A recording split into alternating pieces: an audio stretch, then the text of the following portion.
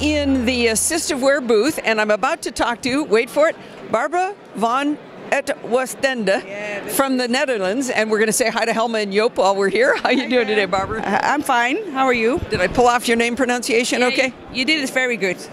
All right. So Barbara has a uh, 12.9 inch iPad Pro. It looks like in her in her hand here, and she's got a product called Proloquo2Go. Yeah. Is that right? Yeah, that's true. And Proloquo2Go is an AAC app.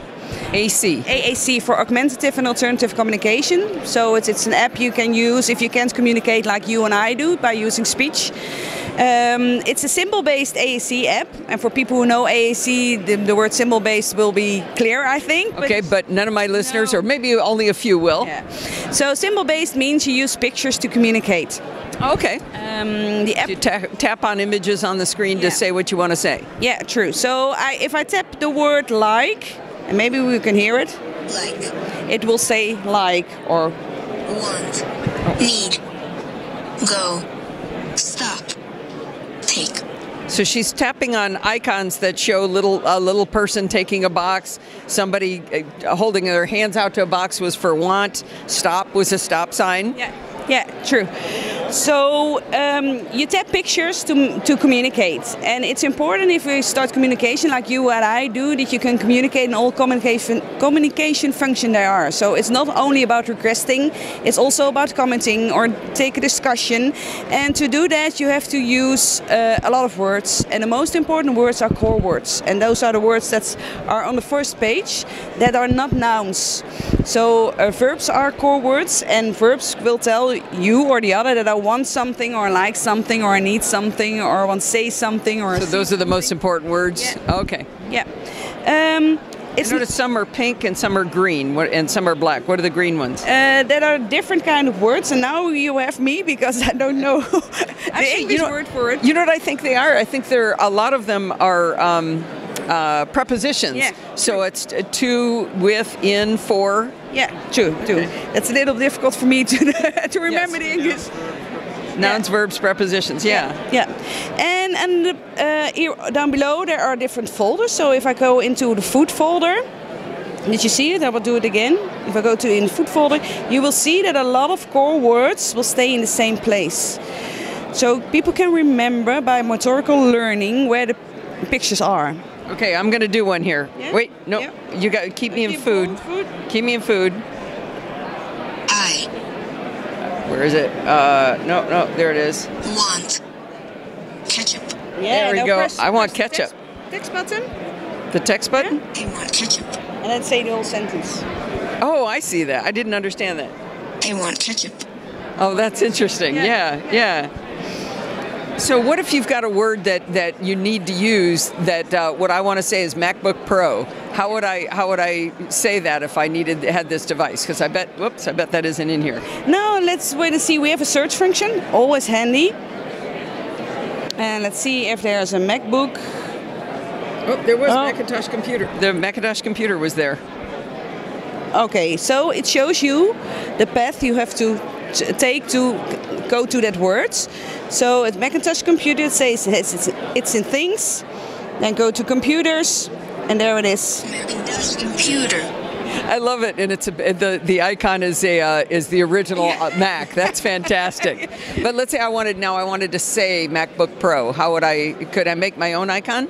Yes, you can make your own icon. Let's make another one in this folder. So we're in the folder things. Um, let's go over here and say I want to make a new button. So you press the plus. That's for a new button. Add a picture. I will choose a symbol. Let's say She's typing in the word computer. And she's. You- oh, sorry. I saw one. Oops, she bumped a button. Oh, that's fine. We can leave Yeah, that. it is- okay. We saw that there was computer You as an option. you Okay. can choose between different uh, pictures. Right, So, yeah. right. So now can I record my own voice? Yes, you can record your own voice, and you will do. So I will press the red button, and you will say it. Okay.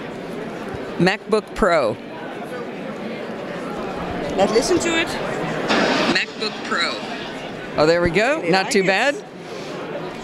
So you will see there's an audio recording over there. I will give it a label because we have to know what the How about Mac how How about MacBook? That's probably good enough. MacBook. Okay, and then we'll say it's done. And then it's there. MacBook Pro. Oh, And very I good. say I want. Want. MacBook Pro. I want. MacBook Pro. Everybody does. That is Yeah, fantastic. that's true. So I noticed there's problems. It's it's kind of quiet in here, but this is pretty loud. Do you have control over the volume on this? Yes, we have control over the vol- volume, so I can choose for my own if I want a soft, loud, or shout function. Um, so we made the sentence I want MacBook Pro, and let's say, okay, we, we're going to shout it, and I hope you can hear it. I want. MacBook Pro.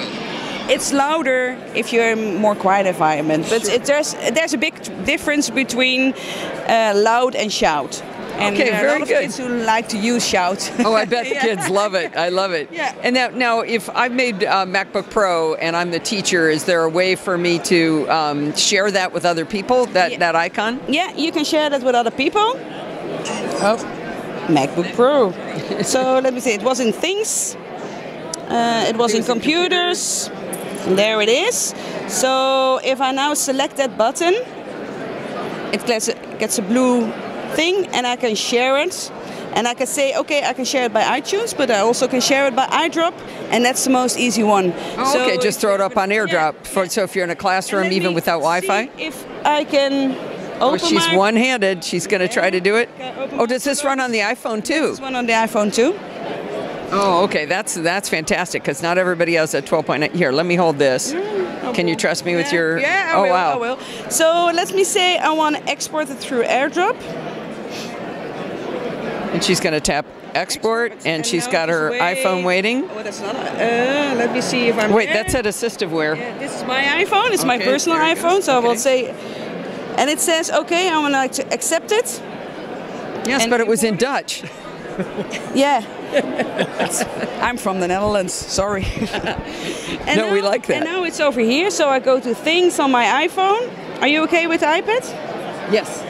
computers and let me see where it is where did he put it it Oh, it's got a funny icon. Remember? yeah let's search for it Oh, that's okay. yeah no well he airdropped it to my iphone Sure. Yeah. So those icons are really small on the Yeah, phone. they're too small for a phone yeah. yeah, I should you should choo- choose another grid size Okay. yeah yeah. Okay. Yeah. Yeah. Maybe a maybe a regular iPad would Yeah. work as well. Yeah, it does. It well, it works on iPhone, it works on iPad, it works on iPods, it works on iPad Pro. Actually, for the children, they can still see that small, right? Yeah, but if you come become older, that- that's that's true. That's true. Not so much. Yeah.